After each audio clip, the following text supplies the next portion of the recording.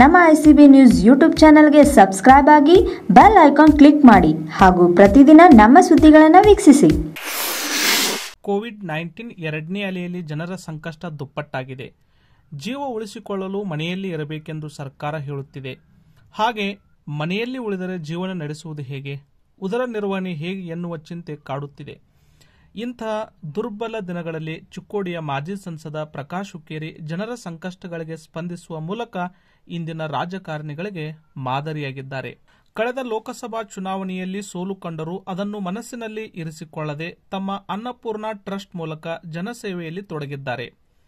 ಚಿಕ್ಕೋಡಿ ಸದಲ್ಗಾ ವಿಧಾನಸಭಾ ಕ್ಷೇತ್ರದಲ್ಲಿನ ಪ್ರಮುಖ ಐದು ಆರೋಗ್ಯ ಸಮುದಾಯಗಳನ್ನು ಕೋವಿಡ್ ಕೇರ್ ಸೆಂಟರ್ಗಳಾಗಿ ಪರಿವರ್ತಿಸಿದ್ದು ಅಲ್ಲಿ ತಮ್ಮ ಸ್ವಂತ ಖರ್ಚಿನಿಂದ ಗುತ್ತಿಗೆ ಆಧಾರದ ಮೇಲೆ ವೈದ್ಯರು, ದಾದಿಯರನ್ನು ಹಾಗೂ ಸಹಾಯಕರನ್ನು ನೇಮಕ ಮಾಡಿದ್ದಾರೆ.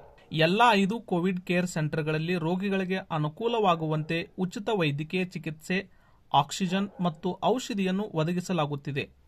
ರೋಗಿಗಳ ಸಂಬಂಧಿಕರಿಗೆ ಊಟ ಉಪಚಾರದ ವ್ಯವಸ್ಥೆಯನ್ನು ಮಾಡಲಾಗಿದ್ದು, ಸಂಕಷ್ಟದಲ್ಲಿನ ಬಡವರಿಗೆ ಆಹಾರದ ಪೊಟ್ಟಣಗಳನ್ನು ನೀಡುವ ಔದಾರ್ಯವನ್ನು ಮೆರೆಯುತ್ತಿದ್ದಾರೆ.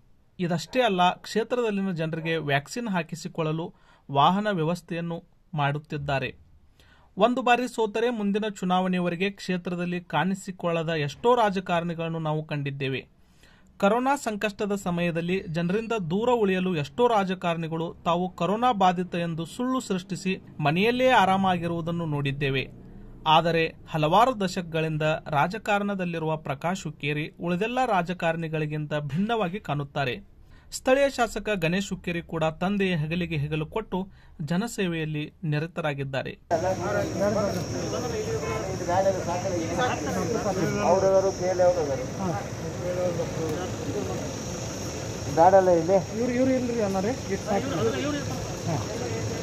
ಇವರು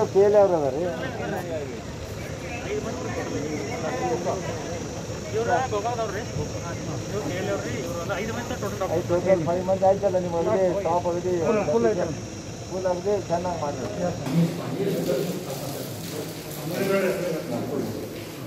ನೀರು ವ್ಯವಸ್ಥೆ ಮಾಡಿ ಕೊಟ್ಟಿದಾರಲ್ಲ ಮತ್ತೇನು ಬೇಕು ನಿಮ್ಗೆ ಕೊರತೆ ಏನೈತಿ ಮತ್ತೇನು ಕೊರತೆ ಐತಿ? ಬರೀ ಸ್ಟಾಪ್ನರ್ ಸರ್ ಆದ್ರೆ ಮುಗಿದೈತ್ರಿ ಬರ್ತಾರೆ ಸ್ಟಾಪ್ನರ್ ಕೊಟ್ಟಿದ್ದೆವು ಬರ್ತಾರೆ ಅಪಾಯಿಂಟ್ಮೆಂಟ್ ಆಗಿದೆ. ಅದಾದ್ರೆ ಮುಗಿದ್ರಿ ಡಾಕ್ಟರ್ಸ್ ಬಂದರು ಸಗಳ ಎಲ್ಲರೂ ಕರ್ಕೊಂಡು ಮಾಡ್ರಿ.